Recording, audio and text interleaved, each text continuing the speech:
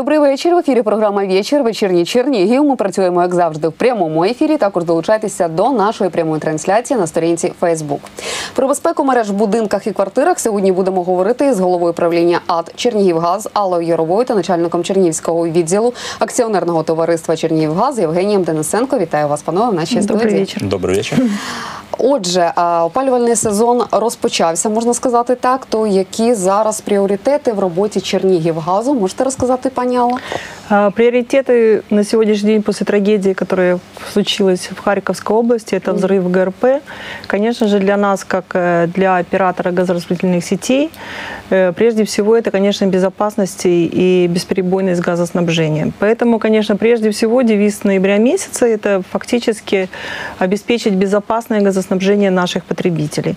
Мы сейчас занимаемся тем, что проводим рейды, э, предотвращаем, может быть, какие-то э, моменты, которые, на наш э, взгляд, могут привести к каким-то, э, скажем так, э, возникновению нештатных ситуаций. Но, тем не менее, могу сказать одно, что Черниговгаз готов как предприятие к отопительному сезону. Мы э, провели все необходимые работы. Э, Я просто уже знаю, что предыдущие мои уже а, коллеги уже рассказывали подробно, как технический директор, поэтому не буду на этом останавливаться, потому что есть более важные, э, важная информация, которую хотелось бы сегодня донести в эфире нашим потребителям. Буквально на секундочку, оці рейдові переві- перевірки, які ви проводите, що вони наразі показують? Які недоліки є? На самом деле мы э, никогда э, на протяжении, несмотря на пандемию, на протяжении 2020 года не прекращали обходы газопроводов. Сегодня мы больше уделяем внимание все-таки безопасности газоснабжения со стороны бытовых потребителей. Потому что сегодня э, не обслуживаются э, внутридомовые газовые сети. И фактически, может быть, достаточно при, плохом, при плохой подготовке, как никогда, области к отопительному сезону, все-таки мы большую угрозу видим э, со стороны населения при пользовании газом в быту. Взагалі, як ви оцінюєте, яку оцінку ставите опалювальному сезону 2020 року? А, Я хочу сказать одно, что э, по сравнению с предыдущими отопительными сезонами, э, при моей многолетней работе в Черниговгазе, наверное, такого отопительного сезона не было. А, Мы подготовку э, к отопительному сезону со стороны бюджетных организаций и тепловых э, организаций начали готовиться с июня месяца. Э, Доносили информацию до областной администрации, но, к большому сожалению, даже наши надежды, что все-таки в преддверии, в преддверии политического октября, это было связано с выборами местные советы, э, ситуация сложилась еще хуже, чем в предыдущие года. Почему? Потому что э, фактически на сегодня не все социальные объекты подключены к системе газоснабжения из-за их неготовности. В первую очередь, опять же, при невыполнении всех требований со стороны Черниговгаз. Были подключены школы и детские сады, но э, остается под вопросом все-таки начало отопительного сезона в таких учреждениях, как административные здания, допустим, там дома культуры и так далее. Э, На сегодня мы столкнулись с тем, что э, в ноябре месяце, э, подавая газ э, в школы, э, школьные учреждения даже не прошли поверку узлов учета. А, Вообще это недопустимо, потому что если брать 2-3 года назад, то прежде всего отопительный сезон начинался в э, социальной сфере. Он начинался 5-6 октября, и фактически 15 октября уже было в полном, полное начало отопительного сезона, то есть население уже получало тепло. А, То, что касается тепловых организаций, то сегодня их можно разделить на два момента. Первое, что может быть неполная готовность эм, э, предприятий теплокоммунэнерго а я хочу отметить, это три крупных теплосети. Это облтеплокоммунэнерго, Нежин и Прилуки. И на сегодня э, стоит вопрос, вот, например, остро на повестке дня все-таки пуск котельни э, в поселке ну, городского типа Ладан. Вот. Сегодня 48 квартир не получает централизованную услугу от облтеплокоммунэнерго. Связано, конечно, это прежде всего о том, что все-таки после реконструкции узла учета э, этот объект был принят в эксплуатацию 9 ноября, то есть то, что уже недопустимо по срокам. А второе, что сегодня существует проблема во взаимоотношениях с НАК «Нефтегазом» уже не э, с точки зрения, скажем, доведения лимитов, с чем мы столкнулись в прошлый отопительный сезон, а с тем, что э, две теплосети, например, имеют арестованные счета, причем не за долги за природный газ, а за штрафные санкции, которые э, были начислены за уже погашенные долги.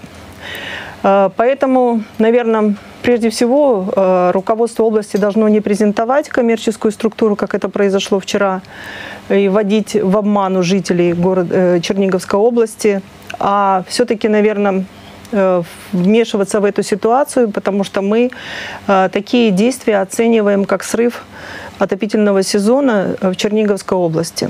Э, Две теплосети получили предупреждение на понедельник. Сейчас ведутся переговоры с руководителями. Ну, особого участия областной государственной администрации в этом нет. Видимо, у них есть какие-то более важные вопросы. Э, Презентация коммерческой структуры, э, которая занимается поставкой природного газа, дискредитация Чернигов газа как э, оператора газораспределительной системы, потому что на официальном сайте э, был призыв не заключать договора с, с приватным облгазом. Э, я хочу еще раз всем отметить, что э, Чернигов газ не занимается поставкой природного газа.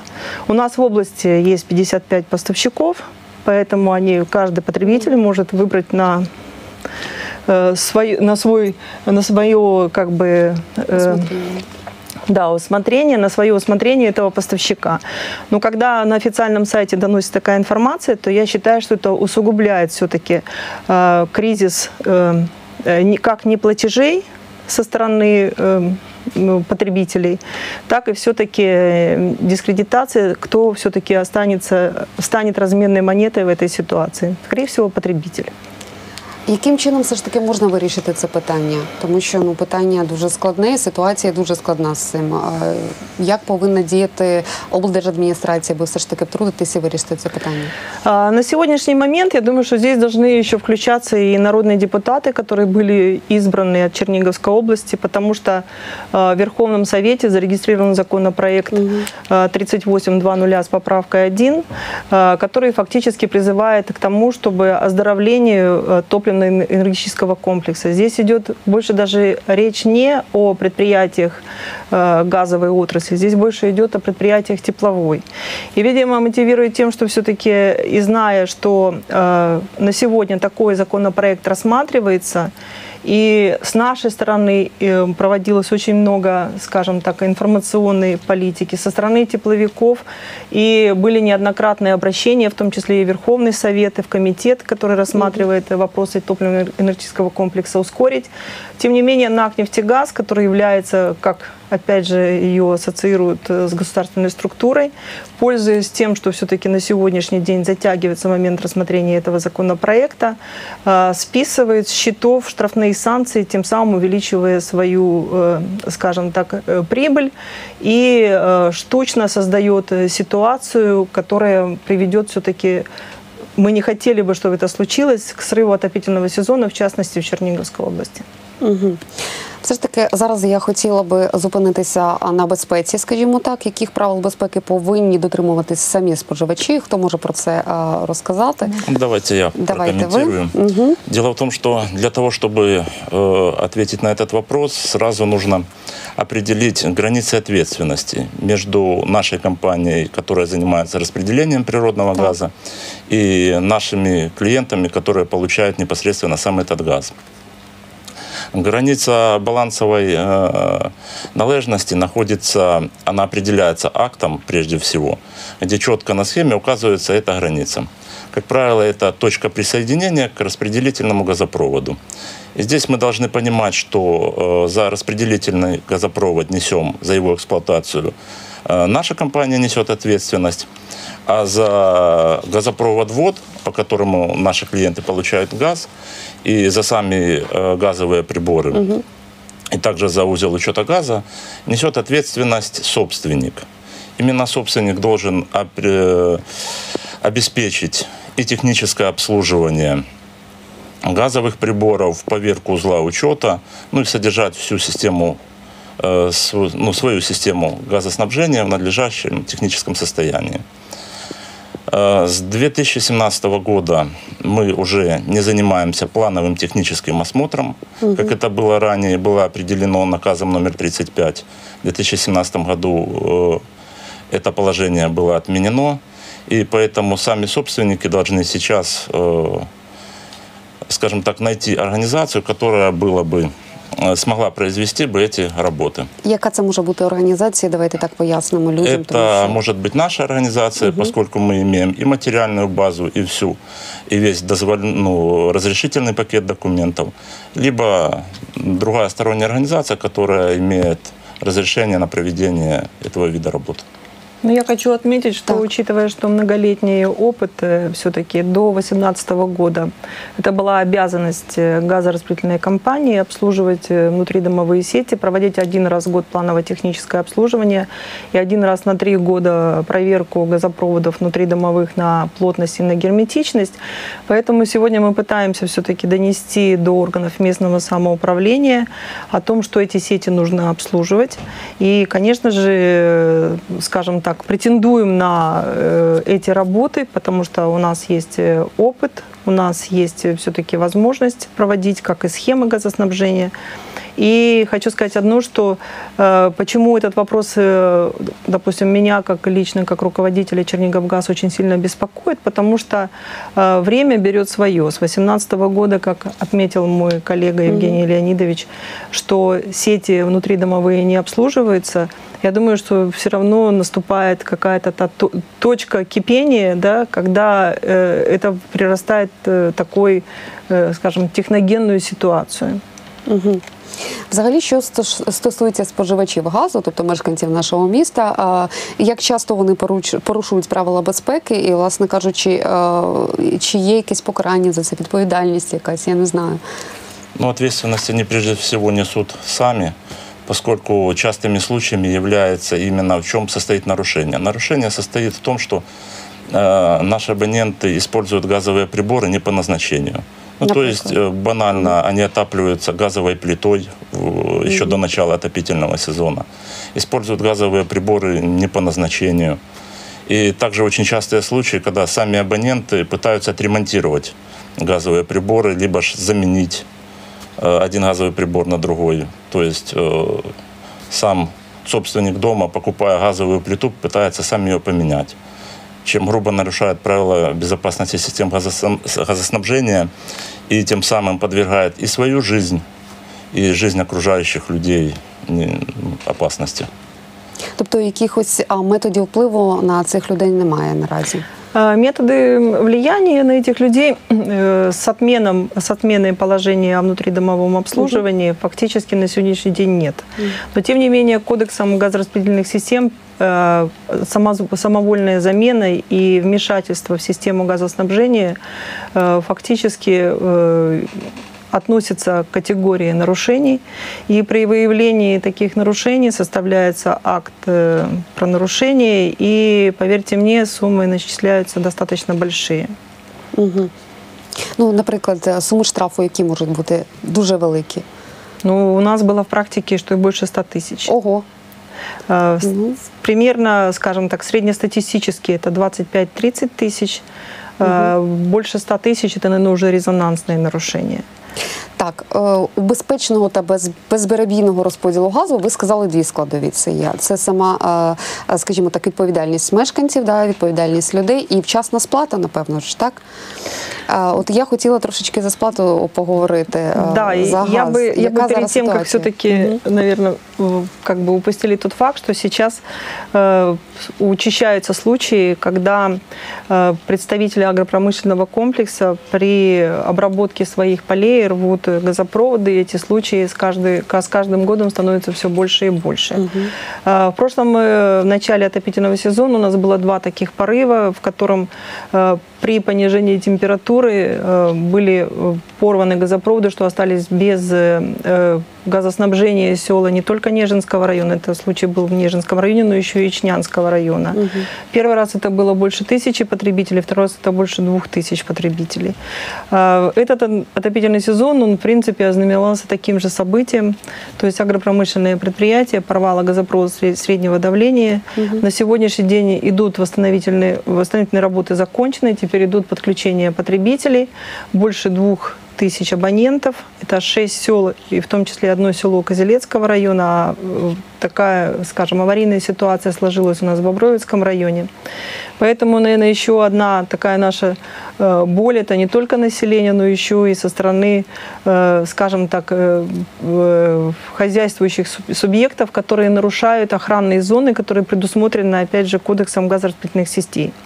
И когда про- проходит расследование, вот сейчас по последнему случаю я не буду его озвучивать, и предприятие, почему? Потому что открыто уголовное дело и ведутся против э, должностных лиц этого предприятия, что в данном случае, когда уже в последнее время, что фактически распахиваются земли, которые не являются ихними, которые, на которые не заключены договора аренды. То есть помимо нарушения, скажем, самого кодекса в отношении газопроводов, еще и нарушается э, земельное законодательство, то есть фактически приравнивается к самозахвату земли. Поэтому мы обращаемся, что для нас это, скажем, достаточно затратные э, э, меропри- мероприятия по восстановлению этих газопроводов. И второе, что э, еще больше накладывает боли со стороны нас, газовиков, и не- негодование наших потребителей, что э, в такой период отопительный, что жители, вот, например, уже э, Бобровицкого района уже вторую неделю находятся без газа.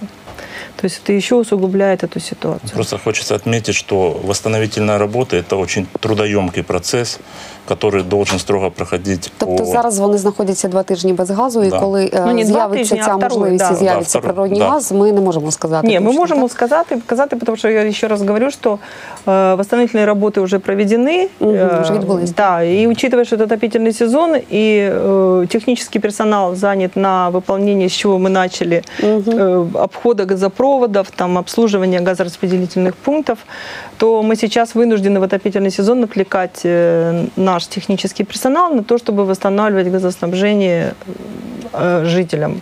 Нарушить регламент проведения этих работ мы не можем, потому что впереди у нас зима, вот, и мы должны все-таки обеспечить бесперебойное, потому что последствия все-таки в зимний период, они могут быть еще более печальными, чем сегодня. Угу. Тож повертаємось до того запитання, все ж таки, Да, яка по- по поводу, ситуація да, а, зі неплатежей. сплатами та, у вас? Да, мы сегодня, наверное, больше хотели сделать акцент на безопасность, и э, причина фактически, э, скажем так, опять же, м, без- э, нарушение да, бесперебойности постачи газа, все-таки это нарушение со стороны потребителей, которые являются недобросовестными пла- плательщиками.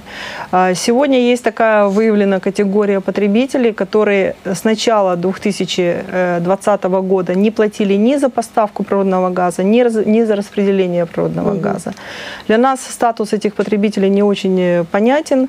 Э, Почему? Потому что они остаются присоединенными к газораспределительной сети. Э, Поэтому сейчас мы в- рамках все-таки мероприятий по обеспечению безопасности и бесперебойности газоснабжения, то мы фактически сейчас проводим рейды, которые на э, соответствие требованиям правил безопасности газоснабжения таких потребителей.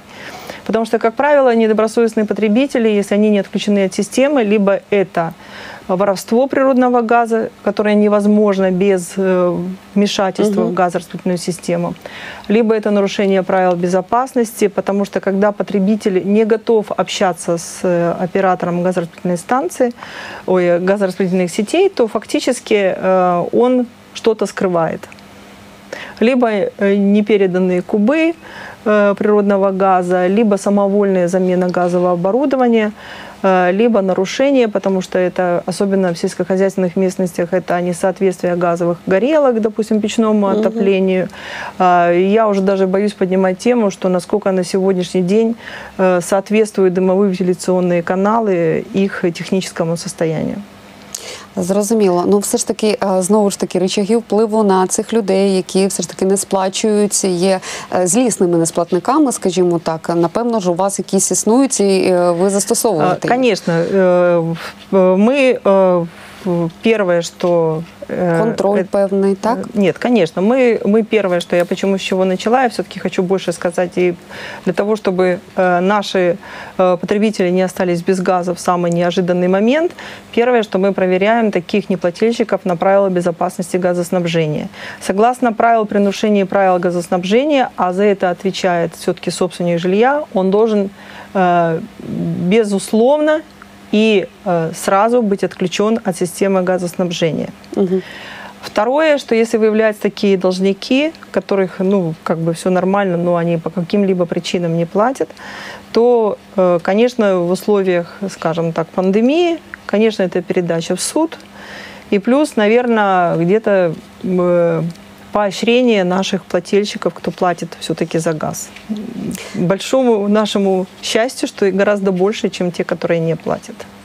Ну, найпечальніша ситуація в тому, що в принципі пенсіонери, да, люди, які складають там копійки, вони все ж таки, я думаю, сплачують цей за природний газ. А ці люди, які заможні більше, вони ігнорують просто цю сплату. Ну, як показує практика. Не знаю, як у вас ситуація, а в інших комунальних сферах така. Ну, на самом деле практика да показывает, и здесь, э, скажем, больше мы когда сделали анализ, э, больше все-таки э, э, сфера приватного сектора Мгм. жилья. Вот, что нас тоже очень сильно беспокоит, потому что именно э, все возможные э, техногенные ситуации, это отравление угарным газом, Мгм. взрывы э, и так далее и тому подобное происходит больше, слава богу, ну, слава богу, потому что я все время с содроганием вспоминаю все трагедии, Якщо б которые це було в проходили в многоэтажных, багатоповерхівці, да, так, чем, то то, есть це там взагалі были, было бы катастрофа. больше последствий, то фактически на сегодня, да. Э, Я хочу сказать следующее, что эм, даже при, получ- при получении субсидий у нас уже растет количество субсидиантов, которые должны как дол- за долги природного газа, так и за долги по распределению природного газа. Мгм. И э, люди не э, готовы на сегодняшний день в полном объеме передавать э, э, показания счетчиков потребляемого газа, потому что они подстраиваются либо под эти субсидии, либо получая э, в монетизированном виде субсидии. Мы уже несколько раз поднимали эту тему и поднимали тему на всяких брифин- брифингах и круглых столах направляют их просто-напросто не по назначению. То есть они не платят за коммунальные услуги, в том числе за природный газ. Так і наостанок я все ж таки хотіла, пані Алло, щоб ви звернулися до мешканців нашого міста, до тих, які не сплачують вчасно за а, природний газ. Можливо, зараз вони на- нас почують. Ну, я первое, что хочу сказать одно, что я обращаюсь э, к тем, кто с- оплачивает природный газ. И я больше даже буду не... за- Я говорю еще раз, там, что Чернигов газ не является поставщиком природного газа. Мы отвечаем за распределение Мгм. природного газа. И на сегодняшний день 26 тысяч потребителей, которые уже не имеют долгов до конца года. Э, Мы таких потребителей поощряем, всячески проводим э, акции всевозможные. Тобто сюрпризи і Да, подарунки сюрпризы. передбачені. И мы сейчас предусмотрели акции, э, скажем, к Новому году. Это две параллельно проводятся акции. Это первое, что в Новый год без долгов. То есть мы все-таки имеем надежду, что те, кто не, не платил или не намерен был платить, все-таки к концу года поймет, что либо надо платить за распределение природного газа, либо, либо надо отказаться от потребления природного газа. И вторая акция – это э, фактически инвестирую в свою безопасность в 2021 году.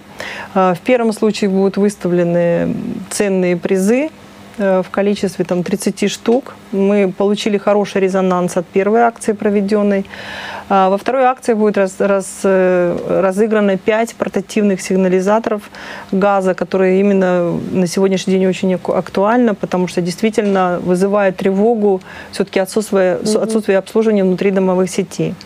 Э, Акция будет проводиться вот с понедельника и будет продолжаться до 30 декабря. И под Новый год, 31 декабря, мы проведем жеребьевку э, через нашу компьютерную систему. А, То, что касается неплательщиков, то я, наверное, все-таки хочу призвать быть партнерами, э, беречь все-таки себя и своих близких, нести ответственность за систему газоснабжения и людей, которые рядом с ними проживают, потому что ни один взрыв не обходился без, э, скажем так, э, Случайно нанесения ущерба, нанесения ущерба э, своим соседям. И все-таки войти в Новый год без долгов, в хорошем настроении и, наверное, при здравии прежде всего. із чистого листа, як то кажуть. Да, щоб із все розпочати. да, із чистого листа. 2021 рік. Да. На цій оптимістичній ноті будемо завершувати наше спілкування. Я вам дуже вдячна, що ви знайшли час і завітали до нашої студії. На все вам добре. Приходьте ще.